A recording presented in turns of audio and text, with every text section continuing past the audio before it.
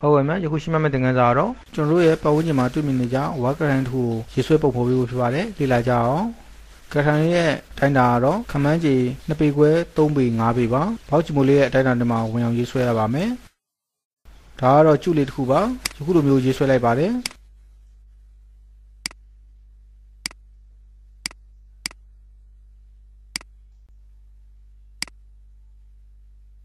ဝလုံးတိုင်အတွက်အသုံးပြုဖို့ပါ ဖြူမဲကာလာနဲ့ပြောင်းကြည့်ပါတယ်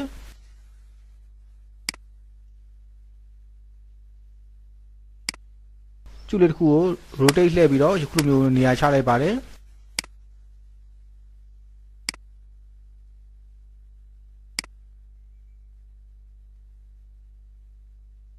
နောက်တစ်ခုတော့ဘလုံးဆက်တဲ့ပုံစံမျိုးရေးဆွဲလိုက်ပါတယ်ဘလုံးများ join set အတွင်းမှာဝင်အောင်ရေးဆွဲရပါတယ်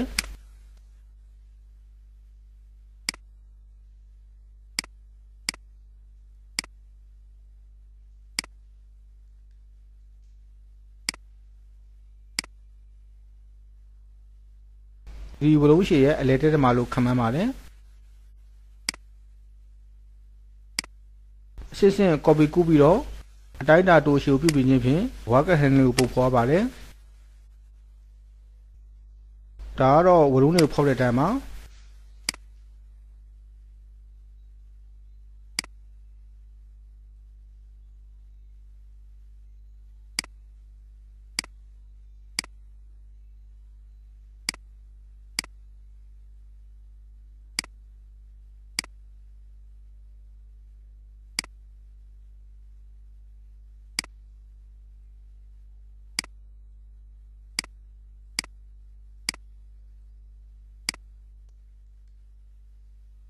ဒါကတော့စက်တန်းလေးပါရှင်းနဲ့နောက်ရုံးနဲ့တစ်ခုကိုဆက်သွယ်ပါတယ်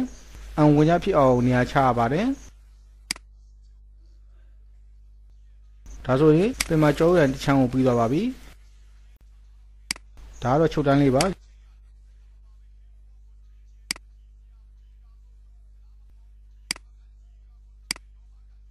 ရှုလိုမျိုးဆက်လုပ်ပြီးတော့ copy ပွားရပါတယ်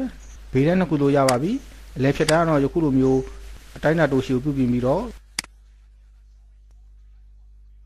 သူ့နေရာသူကော်ပီပွားပြီးတော့နေရာချထားရပါတယ်အခုဆိုရင်ဝါကထန်လေးကတဖြည်းဖြည်းနဲ့ပုံပေါ်လာပြီးဖြစ်ပါတယ်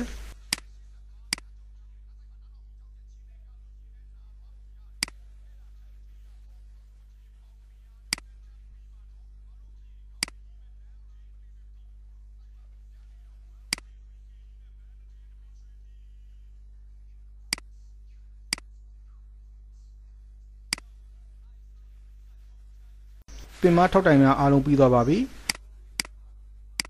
အလဲကဝလုံးငါးလုံးကိုဆဲလုပ်ပြီးတော့ကျွန်တော်တွေကိုခဏဖြောက်ရပါတယ်ကြောကင်းလေးတိဆောက်ဖို့အတွက်ပါဒါကတော့ရှေ့လိုင်းလေးပါ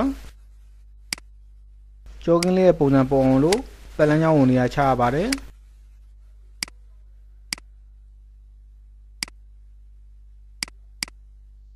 လိုအပ်ရင် line ရဲ့ vertex point တွေကို select လုပ်ပြီးတော့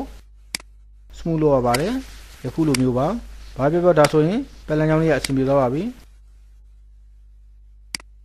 ဒါတော့ကျုပ်လေးပါဝါပြားဖန်တီးဖို့အတွက်ပါ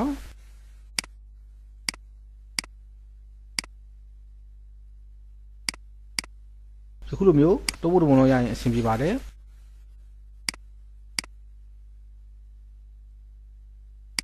ဝါးချောင်းကိုဆက်လက်လုပ်ပြီးတော့တူးတဲ့က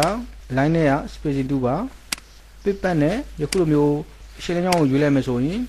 ပလန်ရှောက်မိမိလိုတော့ copy ကိုရနိုင်ပါတယ်ယခု current အတွက်တော့21ခုလောက်ဆိုအဆင်ပြေပါတယ်ပလန်ချောင်းနဲ့လမ်းကြီးဖြစ်အောင်ယခုလိုမျိုးလှည့်ပေးရပါတယ်ကျန်ငင်းပြားကြီးတွေ့ကြပါပြီ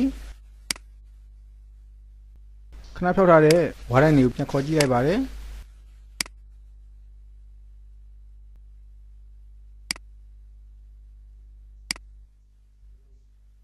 ဝန်ချမ်းများတူနေသေးရဆိုရင်တော့ပိုရှီအောင်လုပ်လိုက်ရင်အံဝန်ချဖြစ်သွားပါတယ်ဒါကတော့ shape ပတ်လမ်းကြောင်းမှာသူ့ကိုကြောကင်းကြိုးဖြစ်ပြုလုပ်ပါမယ်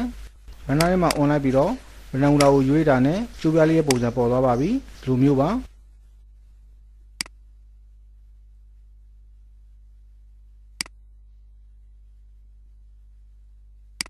ကြည့်ကြတဲ့ကိုယ်ပွားပါရဲ့နှစ်ခုပါစုစုပေါင်းတိုးတိုးကြိုးရသွားပါပြီ ပုံမှန်ကာလာနဲ့ကြည့်မယ်ဆိုရင်ယခုလိုမျိုးတွေ့မြင်ရမှာပါ